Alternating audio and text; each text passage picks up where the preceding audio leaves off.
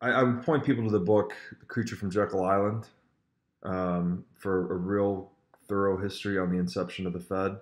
There's an abridged version of this book called Dishonest Money by a guy named uh, author last name Plummer, I believe. Um, and I read this book before Bitcoin, and this is what really got me turned on to the the evils of, of central banking and the Fed. But the essentially there were three attempts to implement a central bank in the United States, um, which failed. And Andrew Jackson, uh, U.S. former U.S. president, was a big proponent in keeping the banks out. He's he has a lot of great quotes about the evils of central banking. I think there's a I don't know if this story is, is accurate or not, but I think there's one where he punched a central banker in the face actually uh, at a meeting, which I thought was interesting. But the the concept of central banking to have a monopoly on the market for money it's unconstitutional. It contradicts the principles on which America was founded.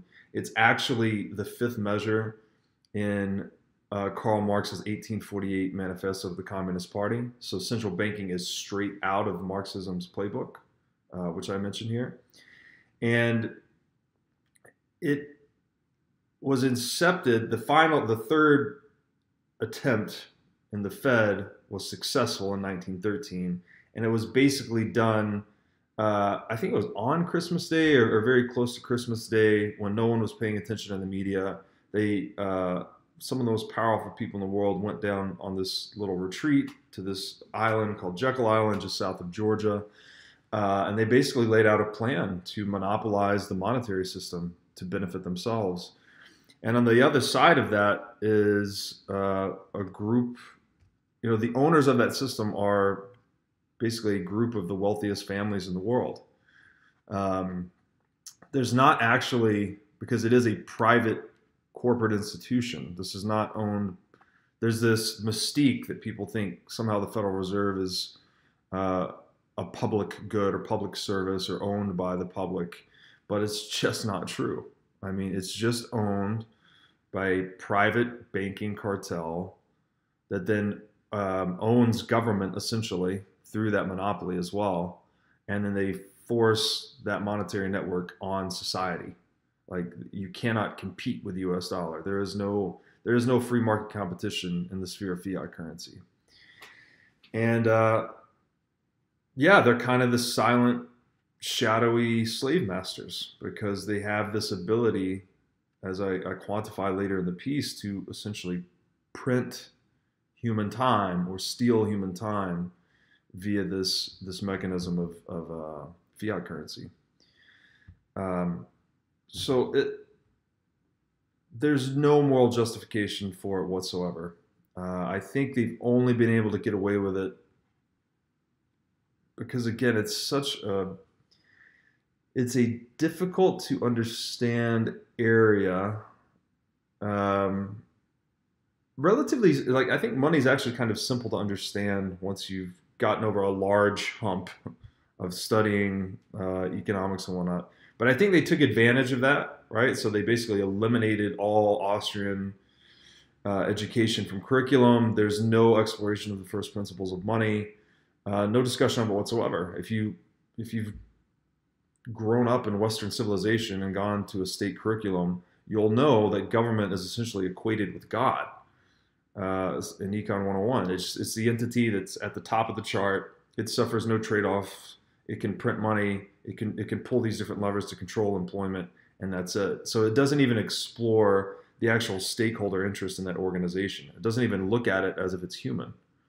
When in fact we all know that government is clearly full of humans who are you know, deceitful, malevolent creatures at times, and uh,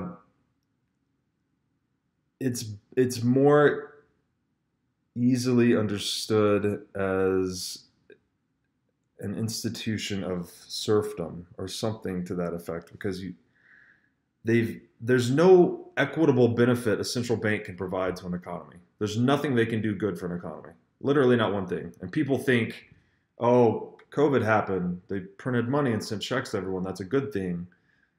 It's not a good thing the reason no one has any savings is because money doesn't hold its value across time. If we're on a gold standard, everyone would have savings as an insurance policy against the uncertainty of the future to protect themselves against events like COVID striking. So that you know, I think the analogy is apt where it's the central bankers are the arsonists proclaiming themselves to be firefighters. They are the reason we are so fragile. The economy is so fragilized by the the imposition of this debt-based currency. And then when the inevitable uh, shock comes, right, because the future is uncertain and shit happens, uh, that fra- that fragility shows itself, and then they step in um, by by uh, by washing the markets with artificial liquidity to quote unquote save it. But what they are in fact doing is just confiscating value from others, reallocating it to the targeted few, which are usually larger corporations, politically favored few, big banks, uh, at the expense of those that receive money last. Um, and it's just, it's really bad. It's not uh, not morally justifiable in any way, any conceivable way whatsoever. So I hope in this piece that I thoroughly destroyed the concept of inflation because I am really tired of having arguments with people I consider to be smart that can look me square in the face and tell me inflation is necessary for a good economy.